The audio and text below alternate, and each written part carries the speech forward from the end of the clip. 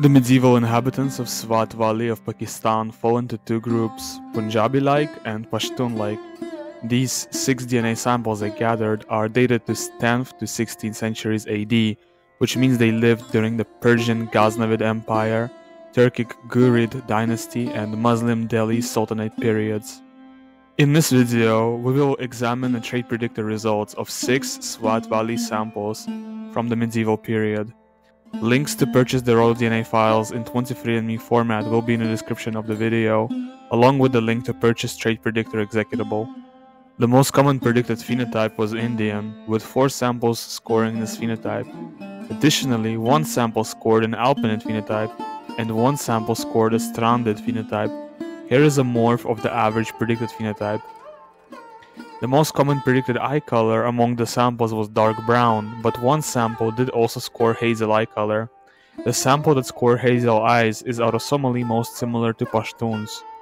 The most common predicted hair color among the samples was black, but one sample did also score dark brown as its predicted hair color.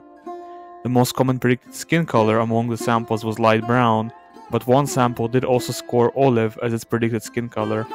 The most common predicted hair texture was curly, and the most common predicted nose shape was Greek. The samples had a high predisposition to male pattern baldness, and five of the six samples were predisposed to lower height.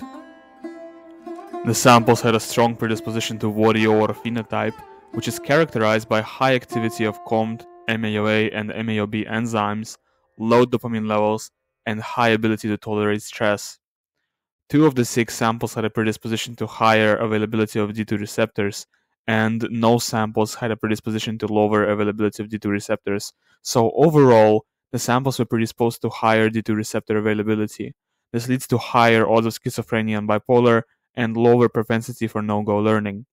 Speaking of bipolar 1, the samples had a high predisposition to bipolar 1. The samples had high odds of ADHD and the average odds of unipolar depression. The samples had an overall average predisposition to Alzheimer's.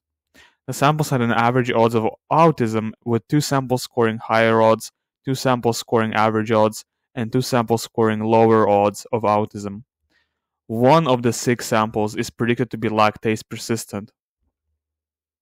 The samples had an average predisposition to empathy based on OXTR genotypes. The samples had a low odds of cardiovascular issues overall, high odds of myopia, high odds of primary biliary cirrhosis, high odds of epilepsy, average odds of age-related cataracts, low odds of gout, average odds of rheumatoid arthritis, and average odds of migraine. Two of the six samples were carriers for hemoglobin E disease risk variants, which is rather average rate, reflecting an average predisposition for this condition. The anaphylactic X or T allele in ACTN3's R577X was found at a high frequency among the six Swat Valley samples, whereas the sprinter C allele was rather uncommon, only one sample carried the CC sprinter genotype. The samples had a high predisposition to epithelial cancer and average predisposition to blood cancer such as leukemia or polycythemia vera. The samples had a high predisposition to testicular cancer based on KITLG genotypes, high predisposition to breast cancer, high predisposition to brain cancer or glioma, and a low predisposition to thyroid cancer. The samples had a low predisposition to autoimmune disease based on HLA genotypes, and none of them had HLA DRB1 risk variants for multiple sclerosis, although two samples did score high odds for type 1 diabetes. However, the samples did have a strong, very strong predisposition to metabolic type 2 diabetes. The samples had a predisposition to elevated glucose levels as well. Interestingly, every sample was predicted to have low red blood cell count. None of the samples had hemochromatosis. Five samples had intermediate, and one sample had lower odds of obesity. Every sample had lower odds of syncope. The samples had a predisposition to elevated LDL cholesterol levels and shorter telomere lengths, which leads to shorter biological lifespan.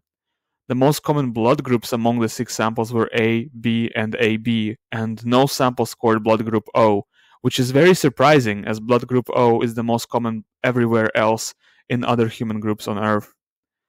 Thanks for watching this video until the end. Make sure to like and share if you enjoyed it. Goodbye.